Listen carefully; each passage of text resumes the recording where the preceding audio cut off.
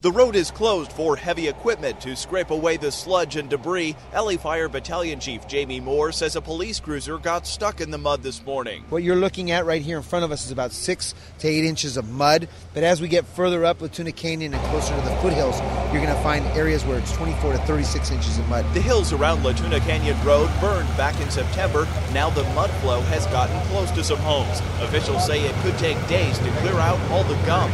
In Sun Valley, Andrew Mullenbeck, KFI News.